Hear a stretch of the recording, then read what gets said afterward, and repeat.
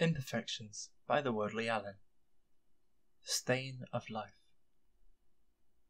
In numbers we flourish upon the rock What time we bring to amend the clock.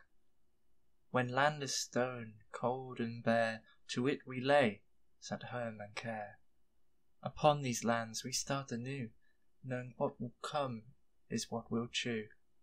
For land is where our hearts make ease To set a place which makes us please. Through towers, blocks, and creations bold, Does what we do ever get old? Black fog and grief do we much bring, But beyond a grin can we not sing? The world and heart we breed upon Much like some cancer to overrun. In mind we see she is our life, To her she bleeds to end her strife. How long can one bear the itch To cough, to choke, to suddenly twitch?